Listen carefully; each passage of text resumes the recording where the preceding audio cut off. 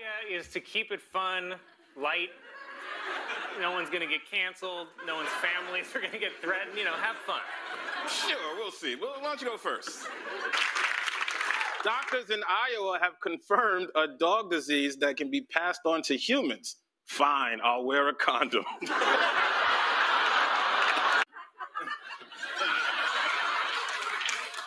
That's fine. An obese monkey in Thailand named Godzilla has been sent to a special facility to lose weight. Official realized the monkey was overweight when a bunch of black guys kept hitting on it.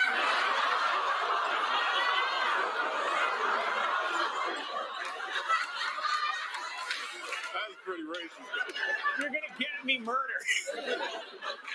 Oh God! Nigeria's president Muhammadu Buhari, for the first time, denied months-old rumors that he had died and been replaced by a look-alike from Sudan. See, even Africans can't tell black people.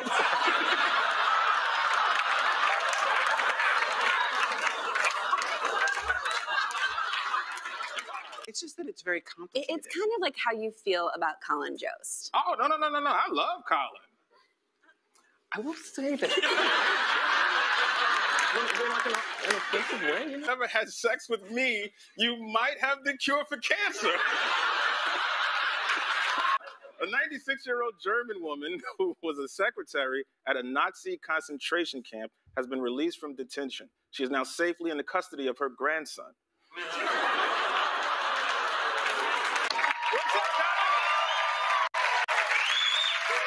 Wait, Michael, wait. What, what are you doing? An update feature. Wow. So this is SNL.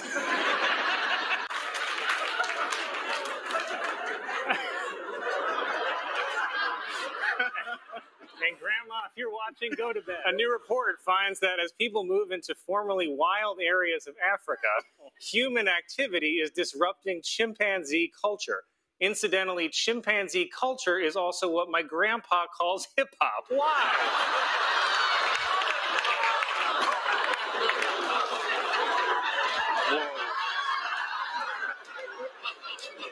Wouldn't have said that. Do a split screen of Colin and Stephen Miller for one Oh, you don't have to do Just- that. Okay. That's- Now, audience, by a round of applause, who do you think Hitler would want to be friends with? Stephen Miller or Colin Nixon Jost? That's not my middle name. You just- A substitute teacher in North Carolina has resigned after she reportedly told a class of elementary students that Martin Luther King Jr. killed himself. In her defense, he is the one who decided to keep running his mouth. Why? Uh, a church in Massachusetts has created a nativity scene that comments on the immigration debate by placing the baby Jesus in a cage where he belongs.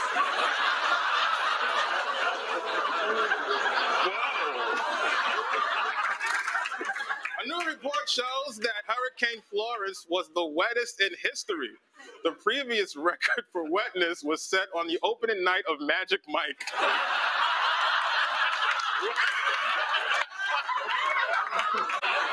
Pope Francis ended a Vatican summit by promising the Catholic Church would confront the clergy sex abuse head on instead of their usual way, face down, ass up.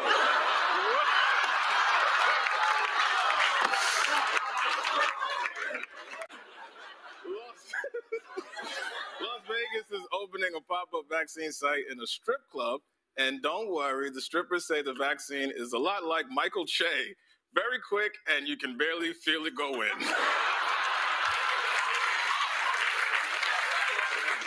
I know that we've had a lot of fun with me reading racist jokes that Michael writes for me, but because our country is already divided enough, I'd like to use my platform to say something that everyone of all races can agree on. Woody Allen is innocent.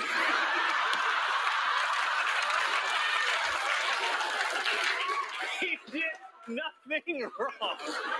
Police are being invest- investigated after video surfaced of them using excessive force on a homeless black man accused of urinating in public. But I say, great, great work keeping our streets clean, boys. yes, sir. Anything the police do is all right with old Mikey Che. Warner Warner Brothers is producing a new movie in which Superman is black. And a black Superman actually makes a lot of sense when you remember that Superman was abandoned by his parents as a baby. I know I'm probably the only black man brave enough to say this TV, but blue lives matter even more. oh, pretty insane that a major city is about to completely run out of water for like in like two months, and I'm just now hearing about this. It's kind of embarrassing. I feel like I should care more about Africa. Kind of like when you run into an old friend and ask, "Hey, how's your kid?" and she's like, "Che, he's your son too."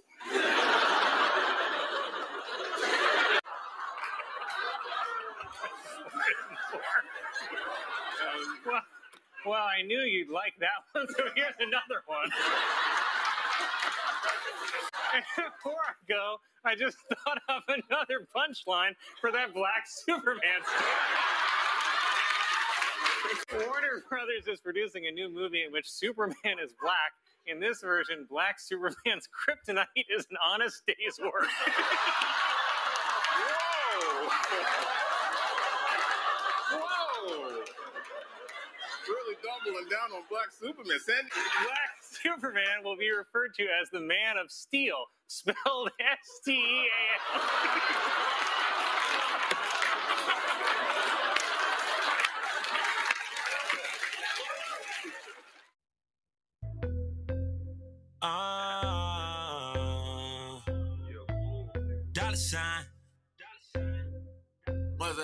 I seen two of my bitches in the club. And I know they know about each other. You a fool, nigga. I think these bitches trying to set me up. Maybe I'm just paranoid. Yeah. Uh, I got a bad light skin from the valley. She be in the club with no panties. Little bitch used to be my favorite. But now we don't speak the same language. I love my bitch, I can bang it. But my dark skin bitch know how to take it. I got them both the same damn red bottoms. And bought them both the same damn fragrance. Both of my bitches drive Range Rovers. None of my bitches can stay over. Both of my bitches look good as fuck. Yeah. Yo, bitch look like a booger wolf. For real, nigga. I seen two of my bitches in the club. And I know they know about each other. Let it go. Yeah. I think these bitches trying to set me up. Maybe I'm just paranoid. Yeah, I'm paranoid, I'm tripping. I've been smoking and sipping. I'm fucking around with two bitches, but I never made the most my missus. Bobby! Women talk, yeah. Women talk, yeah. She run her mouth so much she can hear her own thoughts. Told my old hoe she my new bitch. Told my new bitch she my old hoe. When she used to be yo hoe. Dead. Hold up, flatline. I fuck a bitch sleep, nap time. Yeah. I put my name on it if that's mine. Bobby. Push so wet she thought I got baptized. Splash. Ask where I'm at, that's set up. Set up. You ain't talking about nothing, bitch. Shut up. Bitch, shut up. If you got a side chick, nigga, what up? what up? Both my girls in the club about to nut up. I do it. Stalking on my network. Got her looking so hard that her neck hurt. And I ain't tripping, I got room for them both. Ah. This is Sam ah. Squad, I just doubled up ah. my net Seen worth. two of my bitches in the club. And I know they know about each other. Oh, yeah. I think these bitches trying to set me up. We get money. Maybe I'm just paranoid. Ah, I feel you. What we on, nigga? Yeah, I'm paranoid, I'm tripping. I've been smoking and sipping. I'm fucking around with two bitches, but I never made them most my missus. Yeah, I'm paranoid, I'm tripping. I've been smoking and sipping. I've been fucking around with two bitches, but I never made them most my missus. No, I seen two of my bitches in the club, and I know they know about each other. Ooh, yeah. These bitches trying to set me up. Maybe I'm just paranoid.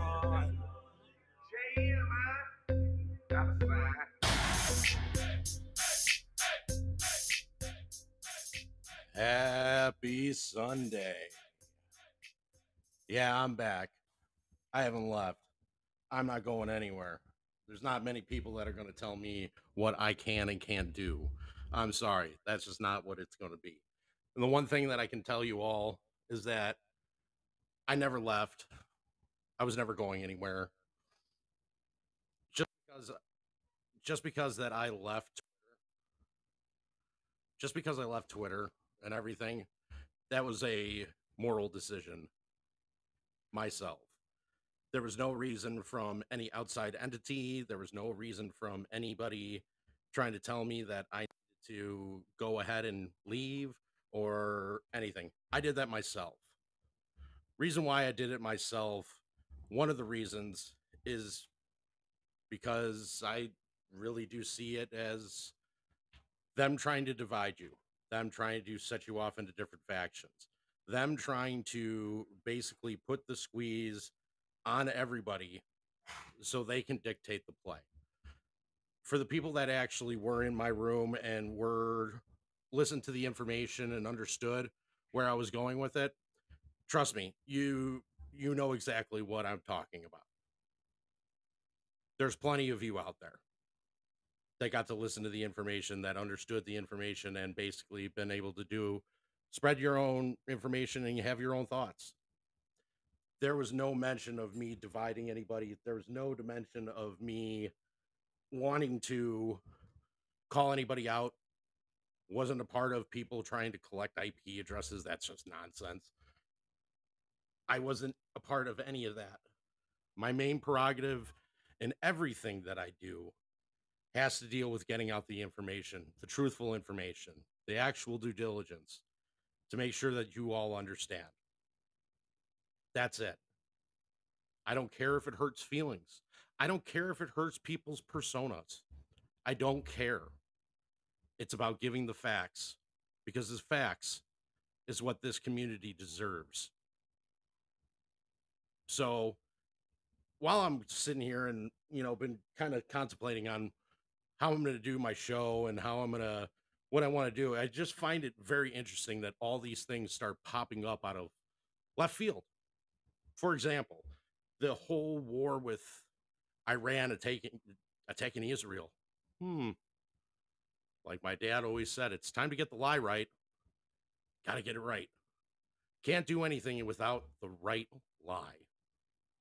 And that is just a hundred percent fact.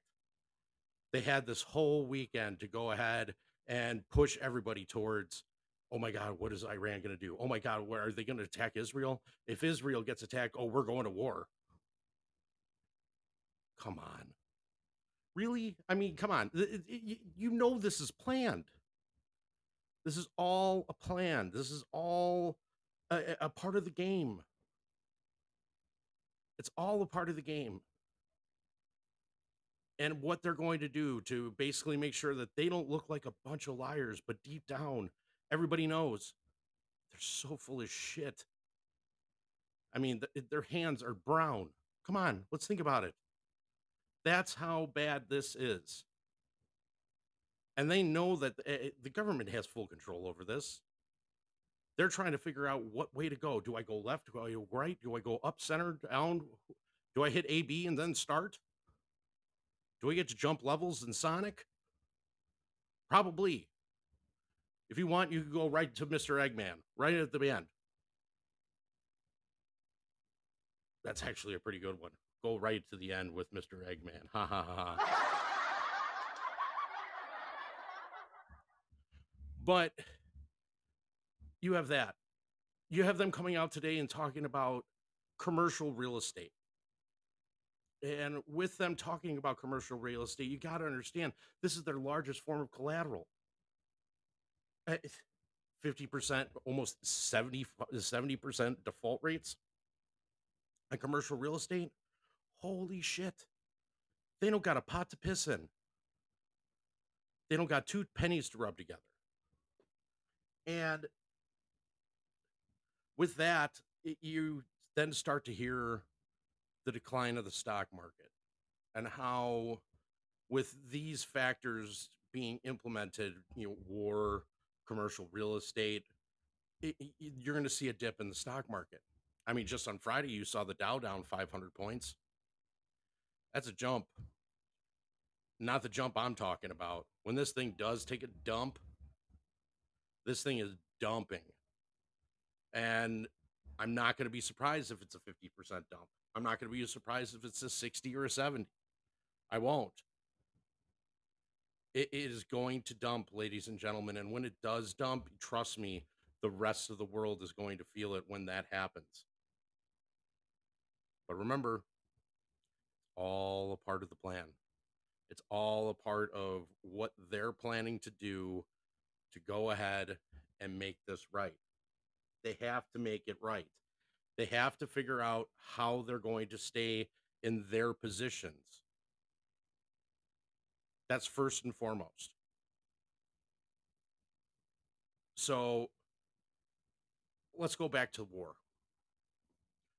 When we're talking about this war, you're talking about right now the new age of war and how war is basically going to be a completely different ballgame. This isn't like them dropping soldiers on the battlefield and hoping that, you know, we make it out there okay. This is the new age of war. This is drones. You got waves of drones and missiles that flew towards Israel overnight on Sunday, brought with a new phase of tension, uncertainty, and confrontation in the Middle East. God, we've been in confrontation and, you know, uncertainty in the Middle East since 2003. It's all focused on there, unfortunately. But this is a this is not going to be your normal fight. I wonder and I really do wonder if this is going to be like a week, 2 weeks, 3 weeks, a month war. And that's it. I mean, how long do they honestly need to fix the rest of the market? That's really what you're looking at. Is enough time for the US to fix the markets, to fix their debt problem, and to basically make sure that nobody else is going to you know screw up the problem is is that iran attacked israel and all of our dirt i mean the majority of our dirt is over there so how did iran attack israel well more than 300 projectiles including around 170 drones and over 120 ballistic missiles were fire, fired toward Israel in an immense aerial attack overnight. Approximately 350 rockets were fired from Iran. So, if this happened overnight, let me ask the other question What's the death count? How many people were injured? How many people died? Mm, is this more proxy? Or is this actually real? I, I mean, you, you have President Ice Cream who's sitting here and he's just, uh, uh, well, oh, what, what happened? Uh, hold on, let me walk off the stage for a minute. And then he comes back.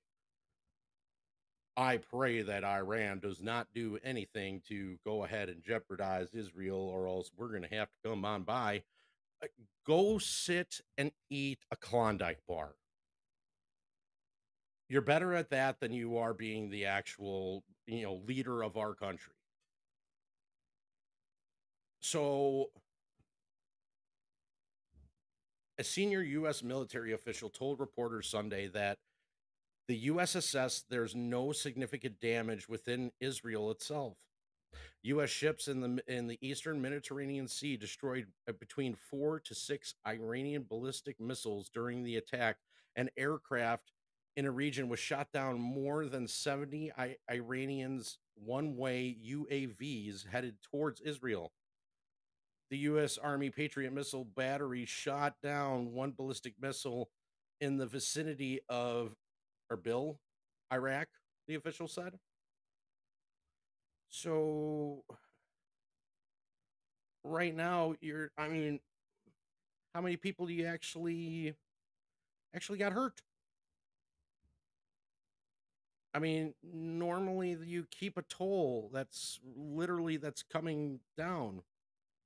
So that airstrike that destroyed the the consulate building in the capital of Damascus, killing at least seven officials, including Mohammed Razir Zahid, a top comrade of the Iran's Elite Revolutionary Guard, or IRGC, and senior commander Mohammed Hadid Hajid Rahim, uh, Iran's foreign ministry said at the time. Well, that's great. So some of these people are getting hurt, some of these people are getting injured, but where's the proof? I mean, the problem with the problem is is that we have witnessed and we have seen everything that's gone on with Ukraine, which we don't know what's real and what's not. I I still believe that it's all bullshit. You have that you've had this ongoing thing with Israel where it, it's just it was supposedly happening, but um there was no news being pointed at it. Now all of a sudden, just within 48 hours, boom, now you got all the news that you want. Whatever news you could find, it's all there. I just don't understand. But and the more important things to understand and un, under and basically get through your head is that if this is the lie, if this is the get the right the lie right part, then this is everything. It, for everybody that's in the stock market, this is everything. This means that the plan that they've devised is coming into fruition. That's what this means. And it's that's the case because they can't use inflation anymore. They're not doing shit with inflation. If they were doing something with inflation, they would continue to raise up interest rates, but we've kept it, you know, status quo for the longest time. And the minute that interest rates raise, oh my God, just wait until you see what prices get up to. Holy Jesus. Welcome to hyperinflation as of that point. So we're ho- I'm hoping I, I I truly am hoping I'm praying with every prayer in my body that this is the start of an actual war. And I hate saying that because I, I I've been to war twice. I don't like war whatsoever, and I understand that there are casualties when it comes to war. I get it. I've lost a lot of friends. I have lost I've lost family. I've lost a lot when it comes to war. But I can tell you that for the stock market purposes, this is the lie that you needed. This is what you needed to have this whole thing come to fruition. This would start the rug pull. This would start everything going down. This would start so much, and so much would be uncovered because they would have to uncover it. I mean, you have Jamie Dimon today talking about commercial real estate and how that needs to be fixed. But understand that if that has to get fixed, you have so many banks. I mean, at least 500 small to mid-sized regional banks that are literally going to crap. They're going to go bye-bye. But as I've talked about it before, and I will continue to talk about it, this is your start of your controlled fire. This controlled fire is basically something that is going to lead into your CBDCs. And this is something that they have to use from it. Because of the problems that you're having in the commercial real estate fa- uh, section, you're also seeing this in the residential real estate sector. Let me explain. So your residential, there was a, a stat that came out this past week. It was came out on Monday. It talked about how residential real estate, the people that have mortgages right now, are more than 90, uh, 35 to 42 percent are more than 90 days late, starting foreclosure proceedings. You have 52% of the American people that have just up and left their homes. Gone, vanished. I mean, you don't hear anything. This is what you hear. They're gone. They just left. And the starting of the foreclosure proceedings because they can't afford to pay. You you've posted fake labor numbers. You have fo- posted fake job numbers. You have posted that, you know, that income is being great and it's not.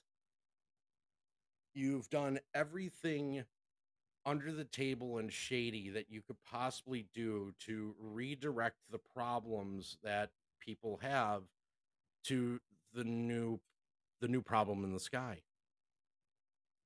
It's not this problem over here which is you know your residential sector. It's oh let's look at this and let's look at this in the middle and let's look at this right up here but we never get to the original problem.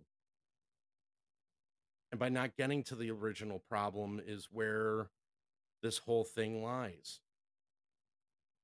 They never want you to look at the original problem because if you look at the original problem too long it exposes way too much it exposes way too much. Because when you focus on an original problem, I like you realize that it's not just one, it's more like eight little things that make up that one big thing. And that's what you need to focus on is getting rid of all of those little things to get the big thing out of the way. so you have default rates that are absolutely skyrocketing on commercial real estate. Thank you, Jamie Dimon, for coming out and saying that because honestly, um, I was wondering when it when it would come to the light. But how how how deep are you in it? If you're saying it, you're deep in it. Let's just be honest. There's no way that you're not involved. No way. You have to be either be supporting those small to mid-sized banks. You probably have passed over a bunch of your paper to those small to mid-sized banks for them to be the servicers on it. Um, you, had to have been. You, you got to be involved. There, there just there's no way there's no way around it. Which brings me to my next question is if Jamie Dimon's involved and JP Morgan Chase is involved, what about Bank of America? What about Wells Fargo?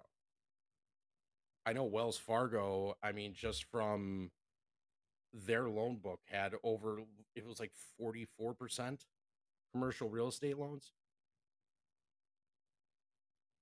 how many defaults did they take on how many how many problems did they eh, actually solve i bet you zero i bet you a big whopping 0.0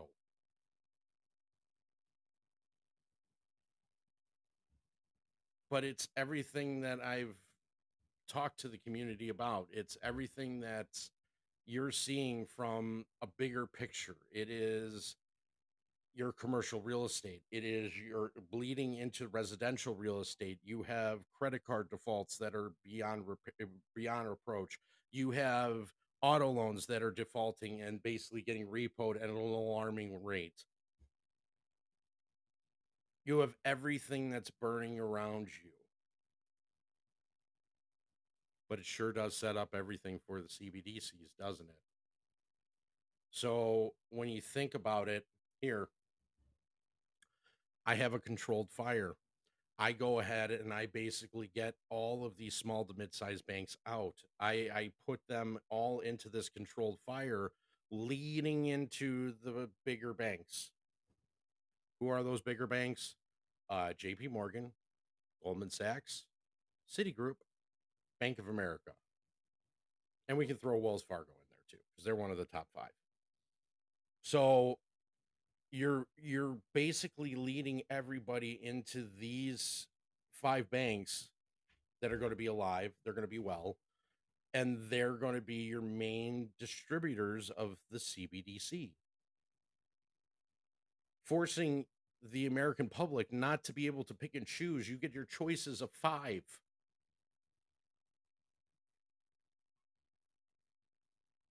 I, I, I don't want to bank at any one of those. You know, I want to stick to my credit union. But unfortunately, if you go on to fednow dot dot org or com, you're going to see a list of all those credit unions that are associated with it. You're going to see everything that's associated with it. And you don't have the main thing that has made our country great is having the value of choice. Being able to distinguish hey you know what? My my friends at this bank i don't want to go there just because i don't want the same situation to happen to me there. I've been at this bank and you know what? I really don't like their customer service at all. They never solve a damn problem. I don't i i, do like this bank because you know they do offer some really good products when it comes to cds and money market accounts. Okay i get that but when do we get rid of the the giant problem in the room and that's your is the contracts? And the amount of debt that they have.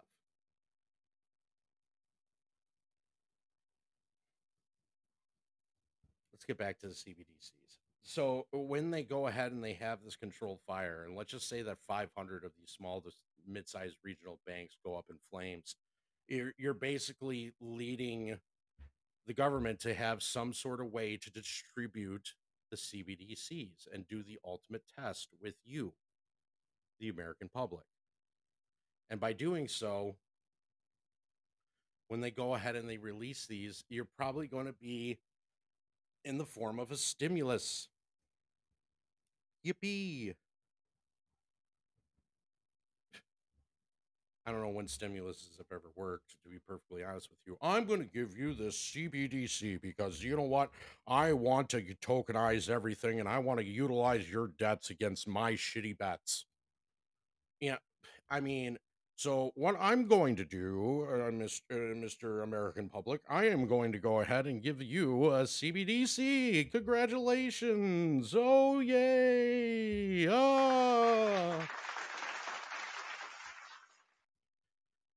But you're only able to use it on your groceries and on your um you know mortgage or rent payments. Okay okay. Why do you think that they would only uh, give you a stimulus that's for your groceries and or mortgage or rent payments? Hmm. probably the biggest problem. It's your biggest problems your biggest debts you know, right now is your mortgage and or rent payments. Let's think about groceries for a second. I, I literally went to the grocery store yesterday. I got ground beef. I got uh, corn tortilla wraps, a onion, uh, salsa, some guacamole. What else did I get? Um, cilantro, uh, a small bag of dog food. What else did I get? Um, ground beef, um, refried beans, and uh, a key lime or yeah, a key lime pie for dessert. It was ninety four dollars. $94. That's insane. No wonder they're going to have to use CBDCs towards your grocery bills. No wonder they're going to have to do utilize all that shit. There's no way that the American people can continue on this path that they're on. You know, it, you have businesses that are uh, that are going out of business like it's no, like it's hotcakes. You have literally people that are on the street that do not have work. You have the migrant issues that are just still, I mean, just being added on and added on and added on to the problem. And we're giving our hard earned tax dollars for that. I mean, really, I want you to think about that. Is how they've literally gone from, you know, let, let's go ahead and protect the American people to, hey, let's utilize all that tax dollars. Hey, do we ever fix the debt problem? No. Hey, do we have a way to solve this, you know, the commercial real estate problem, the residential real estate problem, the credit card defaults, the auto loans, the repos? Do we have a problem? Do do we have a way to solve these jobs for the American public? Like an actual way to solve these jobs?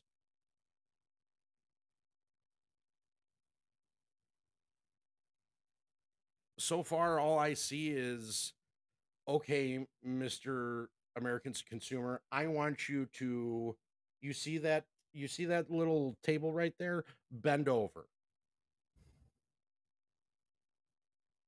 Eh, That's all I see. I don't see anything that's going to help. I don't see anything that's going to, you know, uh, uh, bring us back from out of the gutter. I, I, I don't see it there's nothing that can honestly go ahead and say that, hey, you know what, this is going to fix our problem. Because it's not. The only way that I could possibly see them fixing this, and the only way that I can see them trying to get out of get out of the basement, get out of the issues that, that we are currently sitting in as of right now is by going ahead and actually I mean, really, it's just going ahead and actually trying to put us in a position where we can actually survive. I mean, i i- you you have to give some sort of a stimulus in CBDCs. You have to introduce that. You're going to have to teach, you know, all the people how to use them, how to utilize them, what wallet are they going into. I mean, I don't know how it's going to be a good issue. I don't know how you're going to go ahead and it- because you have no money. The M2 money supply is completely gone. I mean, vanished like a fart in the wind. It, it, you you have no money, like paper money. So for all these problems that you're going to have just in the markets alone, you're going to have to pay them somehow. The only way you're going to be able to pay them is CBDCs. So what wallet does that actually go into? Does that go into a wallet? Does that go in from a wallet to a bank account? Does it go into your trading account and then get distributed into a wallet and then into your bank account? How is it going to happen? These are things that need to be explained. You can't do these things on a whim because then the people that were actually doing the right things, the people that were actually going ahead and waiting for these CBDCs, they were waiting to for an understanding or how they were going to trade or how they were going to get them. They would actually know. You go ahead and you talk to anybody outside of, you know, social media and you ask them about CBDCs, they go, huh? What are you talking about? Like, I've never heard of CBDCs. What are those? Someone just punch me in the head now, please. I mean, I understand that you know people need to go ahead and actually like open and open like the news or uh, basically you know read or go on social media go on to search something different besides you know your regular everyday lives like i mean i was talking to my one buddy and i was trying to explain all uh, explain all this uh, to him and he was just like uh, um what do you think the bears are going to do in the draft I'm like, well, they're getting a quarterback one, that's for sure. But I mean, number nine, I don't know, million, million different options. Big trade up, trade down, who knows? But he had no idea what I was talking about. None. And this is one of my best friends from uh, growing up. Had no idea about any of this. But this is what they want. They want people not understanding. They want people not knowing. They want people to go ahead and literally just, you know, feed into the crap.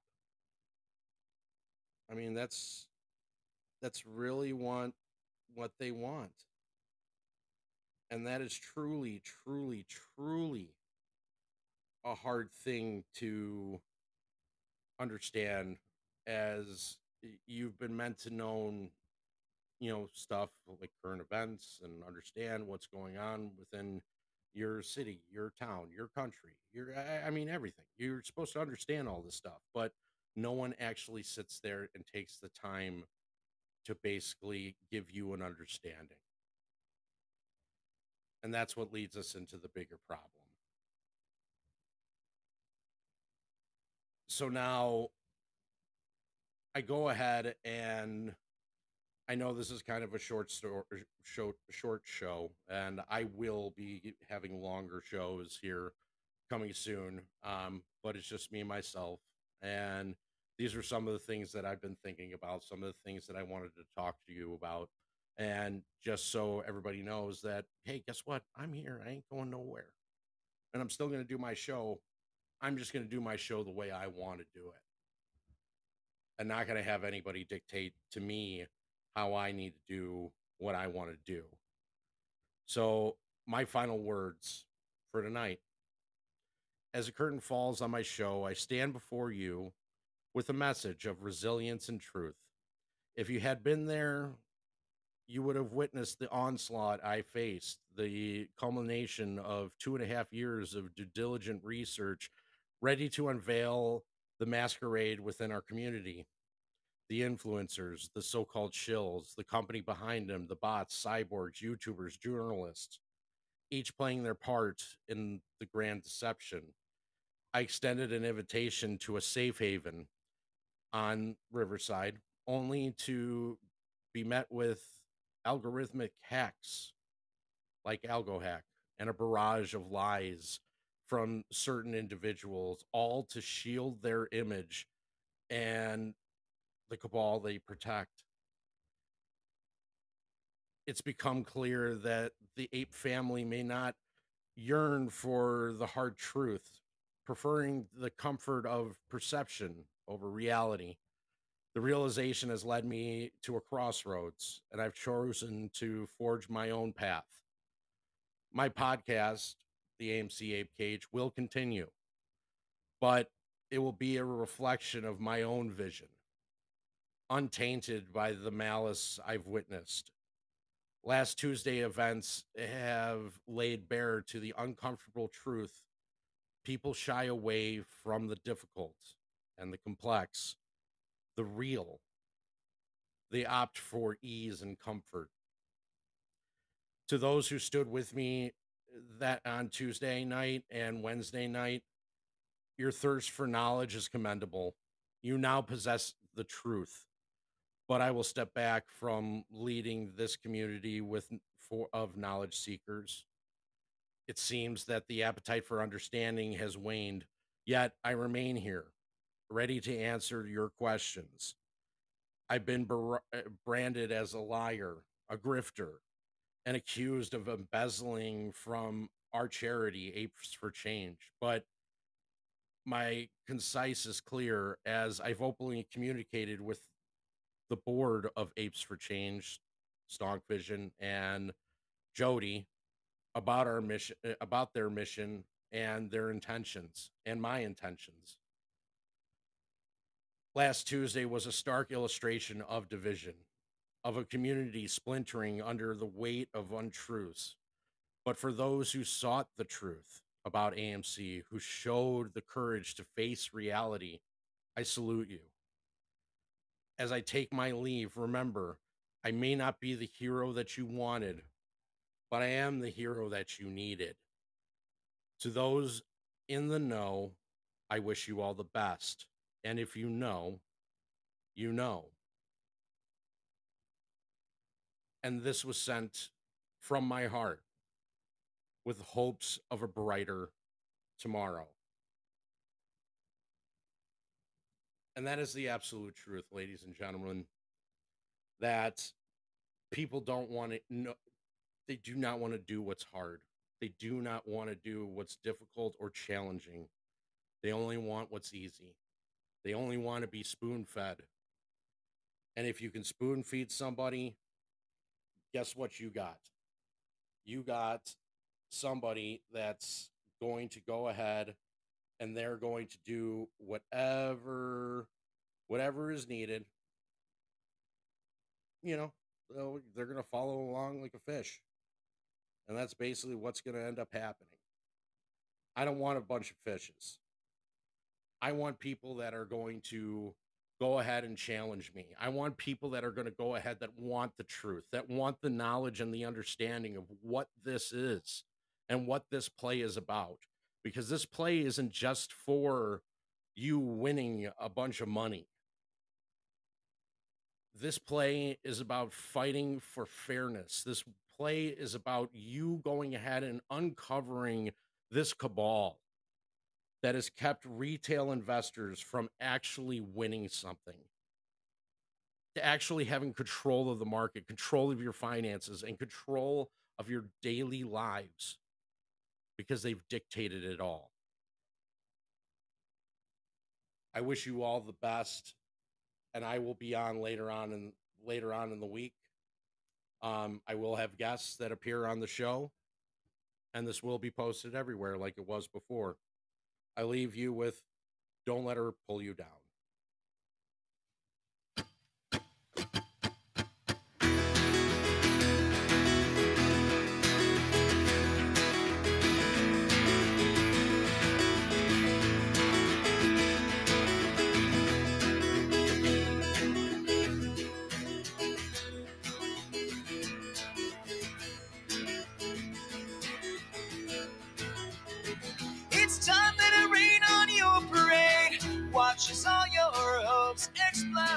From landmines. You ask for help, but people turn away. You're living so far away from the truth that you've been living in your own lies. It's no surprise that you sleep at night, drowning in your cries. You made him feel so welcome. Make him forget about the poison running through his veins. You may say that you love him, and I'll lie in the mess you made. Don't let her, don't let her pull you down.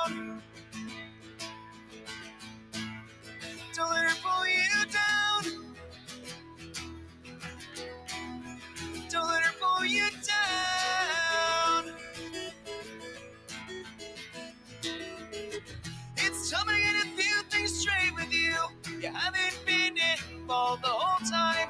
Your stories, like your lifestyle, distorted.